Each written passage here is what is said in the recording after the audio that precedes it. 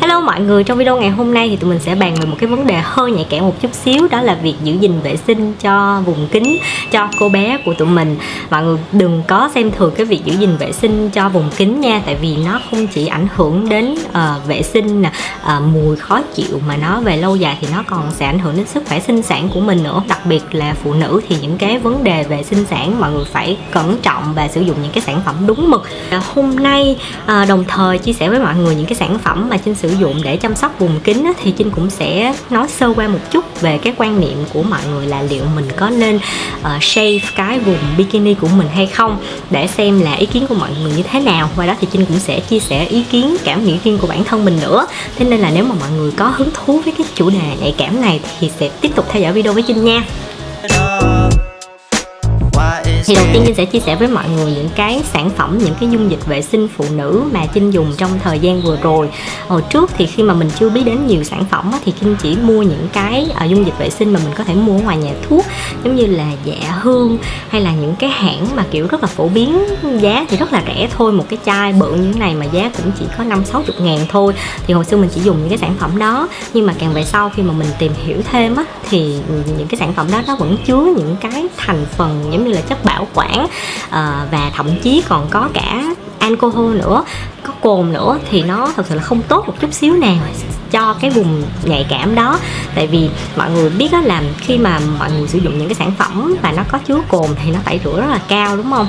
Mà cái vùng kính của mình là cái vùng kính nó rất là nhạy cảm.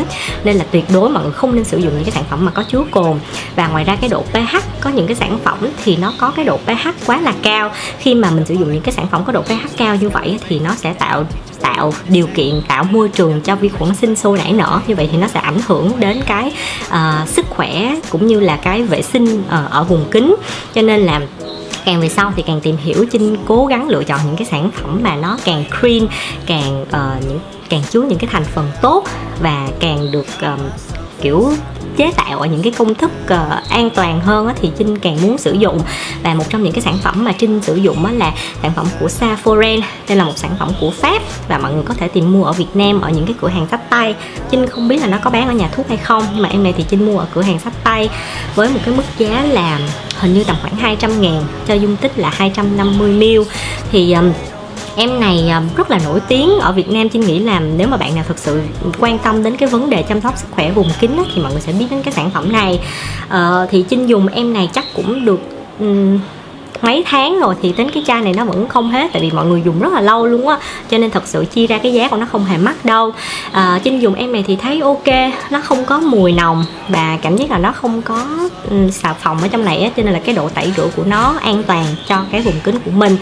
Ừ, và mình dùng thì thấy ok nó cũng không có gì quá làm uh, kiểu thần thánh nhưng mà nó là một cái sản phẩm chăm sóc vệ sinh tốt và mình nghĩ là nên đáng đầu tư.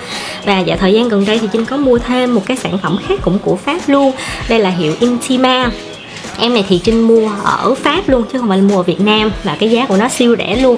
Cái chai bự như thế này 240ml mà trinh mua chỉ có 6 euro thôi. 6 euro là chưa đến 200 ngàn nữa.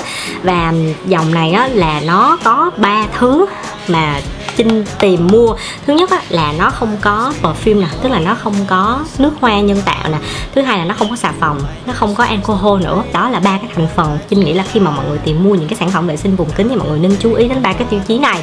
Không có mùi hương nhân tạo không có xà phòng và không có cồn thì những cái sản phẩm như thế này nó sẽ rất là lành tính cho cái vùng nhạy cảm của mình. Và đối với cái sản phẩm này thì nó còn được kiểm nghiệm uh, viện uh, nghiên cứu về uh, chăm sóc sức khỏe vùng kính nữa. Cho nên đây là một cái sản phẩm mà trinh nghĩ rất là đáng đầu tư. Trinh không biết là ở việt nam thì có bán hay không nhưng mà trinh nghĩ là có đó. Mọi người tìm thử ở những cửa hàng sách tay thử xem ha. Thì khi mà xài cái sản phẩm này trinh cảm thấy là trinh còn thích hơn cái sản phẩm của Saforen nữa tại vì trinh cảm thấy là nó rất là dịu nhẹ nha. Mình mình dùng á thì cảm thấy nó nó sạch nhưng mà kiểu nó rất là êm nó không làm khô cái vùng kính của mình. Và đây là sản phẩm mà trinh nghĩ là sau khi mà trinh dùng xong thì trinh sẽ mua lại um, về việc mà sử dụng những cái sản phẩm này á, thì dùng bao nhiêu là là đúng. Um, Chinh sẽ sử dụng một ngày một lần chứ Chinh không có sử dụng mỗi một lần mà mình uh, đi vệ sinh. Tại vì thật sự là cái nào mà dùng nhiều quá thì nó cũng không tốt đâu. Mọi người chỉ dùng ở một cái mức độ một cái giới hạn uh, cần thiết thôi.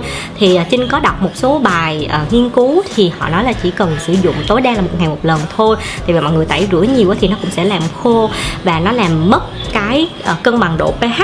Như vậy thì nó cũng sẽ tạo môi trường cho vi khuẩn sinh sôi nảy nở. Chính vì vậy thì thường trinh sẽ sử dụng các em này vào buổi tối khi mà mình đi tắm. Nên là cái tắm cuối ngày của mình đó thì mình sẽ dùng em này và trước khi mình đi ngủ. Rồi thì uh, đó là hai cái sản phẩm mà chăm sóc vệ sinh vùng kính. Mà thật sự luôn, trên mọi người, ở bất kỳ độ tuổi nào thì mọi người cũng phải nên bắt đầu quan tâm đến việc chăm sóc vùng kính đi. Ngay cả những bạn mà còn tuổi teen ờ, mười mấy tuổi thì mọi người cũng đã phải bắt đầu sử dụng những sản phẩm chuyên dụng. Và tuyệt đối nha, tuyệt đối mọi người không được sử dụng sữa tắm hoặc là thậm chí là dầu gội đầu để mà vệ sinh vùng kính đâu. Mọi người phải sử dụng những cái sản phẩm chuyên biệt như thế này cái câu hỏi tiếp theo tụi mình sẽ cùng bàn bạc với nhau đó là liệu là mình có lên cạo vùng bikini hay không? À, cái vấn đề này trinh muốn nói là tại vì theo quan điểm trinh biết là theo quan điểm của rất nhiều bạn thậm chí là quan điểm của ba mẹ anh chị em ông bà của rất nhiều bạn ngay cả đối với gia đình mình thì mình nghĩ chắc cũng vậy. Có nhiều người sẽ nghĩ là uh, shave uh, cạo vùng bikini là hư hỏng là quậy phá là nghịch ngợm, là một cái gì đó nó không có đúng như là thuần quan mỹ tục. Nhưng mà thật sự xin thưa với mọi người là trinh không cảm thấy cái việc đó nó có cái gì trái với thuần quan mỹ tục cả. Và đối với bản thân mình thì mình đã bắt đầu xây vùng kính chắc là cũng mấy năm rồi chứ không phải là gần đây đâu. Và thật sự cái mục đích của mình đó cái xuất phát điểm của mình khi mà mình xây cái vùng kính của mình đó là thứ nhất là để lúc mà mình đi bơi, đi biển, mặc bikini cho nó tự tin, đúng không? Cái thứ hai nữa là mình cảm thấy như là nó sạch và nó thông thoáng cái cô bé của mình. Chứ mọi người tưởng tượng là nếu mà cái chỗ đó mọi người không làm sạch lông á thì uh, có phải là khi mà mọi người tắm rửa mà mọi người tắm không sạch á hoặc là khi mà uh, mồ hôi mọi người hoạt động ngoài trời nhiều á thì có phải là nó sẽ tạo điều kiện cho vi khuẩn sinh sôi nảy nở không? Thì nó phải rất là kinh ông. Cho nên thật sự nó không chỉ có về vấn đề thẩm mỹ đâu mà trên nghĩ là về vấn đề uh, sức khỏe về vấn đề vệ sinh nó cũng rất là cần thiết khi mà mọi người shave cái vùng bikini của mình. Thì nếu mà bạn nào à, có những cái quan điểm khác hoặc là đồng tình hay là trái ngược thì các bạn cũng comment bên dưới để tụi mình có thể cùng thảo luận với nhau. Và nếu mà bạn nào đồng ý với cái quan điểm mà tụi mình cần thiết phải shave vùng kính thì Chinh tiếp tục sẽ giới thiệu với mọi người hai cái sản phẩm mà Trinh sử dụng để shave cái vùng kính của mình. À, nãy giờ sorry mọi người nha Trinh cứ dùng cái từ shave tại vì Trinh hạn chế dùng cái từ cào á nhưng mà mọi người hiểu mà đúng không? À đây thì đây là hai cái dụng cụ sản phẩm mà Trinh dùng để cạo vùng kính uh, và ngay cả vùng dưới cánh tay trộm vía là mình không có bị nhiều lông ở chân tay cho nên là mình chỉ sử dụng có hai cái vùng là vùng dưới cánh tay và vùng kính thôi. Và mình sử dụng thứ nhất là em dao cạo và thứ hai là một cái kem cạo. Mọi người um, không được bỏ bất kỳ một trong hai cái sản phẩm này và dĩ nhiên là dao cạo thì chắc chắn là mọi người phải sử dụng. Nhưng mà trinh biết là mọi người sẽ sử dụng đại một cái sản phẩm dao cạo nào đó. Thậm chí là có những bạn sử dụng những cái dao cạo râu của nam giới nữa. Thì mọi người phải dừng ngay lập tức cái việc đó lại. Tại vì cái dao cạo râu của nam giới á, thứ nhất là cái lưỡi cạo của nó nó rất là nó rất là bén và nó nó tức là nó nó thiết kế cho việc cạo râu chứ không phải là thiết kế cho việc cạo những cái vùng kính. Cho nên là khi mà mọi người cạo thì nó sẽ rất là làm dễ tổn thương cái vùng da nhạy cảm của mình. Nên là mọi người nên tìm những cái dao cạo mà chuyên dùng cho phụ nữ và đặc biệt là những cái dao cạo mà chuyên dùng cho vùng kính thì càng tốt hơn nữa. Thì ở đây trinh có cái sản phẩm này của hãng Venus. Uh, Venus ừ, đây là một trong những cái sản phẩm dao cạo trinh nghĩ là khá là phổ biến dao cạo phụ nữ. Và trinh mua nguyên một cái pack 5 6 cây luôn. Mà giá nó chỉ có tầm 2 300 ngàn thôi. Thì chia ra một cây này rất là rẻ chỉ tầm khoảng 5 60 ngàn thôi. Thì Trinh nghĩ là rất là đáng. Và mọi người thấy cái thiết kế cái lưỡi cạo của nó thì ở đây là cái lưỡi cạo tới 3 lưỡi lận. Và nó có những cái miếng đệm này nè. Nên khi mọi người tùy vào trên cái phần da của mình á, thì nó không có bị đau và mỗi lần mà cạo xong thì trinh cảm thấy nó rất là láng nữa cho nên là trinh rất là thích cái cái cây dao cạo này. Và trinh sẽ sử dụng em này chắc phải ba bốn năm nay kể từ khi bắt đầu trinh uh, cạo vùng kính thì trinh đã sử dụng em này. Và mình dùng em này để cạo vùng da dưới cánh tay luôn. Nên là trinh highly highly recommend mọi người sản phẩm này. Tiếp theo thì là một cái sản phẩm kem cạo um, nếu mà mọi người không muốn sử dụng những cái sản phẩm kem cạo á thì mọi người có thể sử dụng những cái sản phẩm giống như là sữa tắm. Nhưng mà trinh thấy nó không có hiệu quả bằng sử dụng một cái sản phẩm kem cạo chuyên dụng đâu. Thì ở đây trinh có cái sản phẩm này là của Gillette kết hợp với lại Olay. À, đây là một cái dạng kem cạo tạo bọt. Khi mà mọi người bóp ra thì nó là dạng gel nhưng mà khi mà mọi người massage thì nó sẽ tạo bọt. Như vậy thì lúc mà mình cạo á, thì nó sẽ làm cho cái da vùng kính cái vùng kính hoặc vùng dưới cánh tay của mình nó mềm hơn và nó không có làm cho mình dễ bị trầy xước á. Và một cái chai này siêu rẻ luôn á trinh nhớ là trinh mua ở bên anh chỉ có giá hai ba bảng thôi nghĩa là năm sáu chục ngàn thôi không biết là ở việt nam chắc là bán tầm khoảng một trăm mấy chục ngàn là cùng. Nhưng mà một cái chai này mọi người dùng siêu lâu và cái mùi hương của nó cũng rất là dễ chịu nữa. Nếu mà mọi người ở việt nam không tìm thấy cái sản phẩm này á, thì trinh nghĩ mọi người có thể sử dụng cái sản phẩm của EOS á, cái shaving cream của EOS cũng rất là tốt. Trước khi mà trinh sử dụng cái sản phẩm này thì trinh sẽ sử dụng đã sử dụng cái sản phẩm shaving cream của EOS rồi. Và uh, trinh thấy rất là tốt và giá Việt Nam thì mọi người bán chỉ tầm khoảng 190 200 ngàn thôi.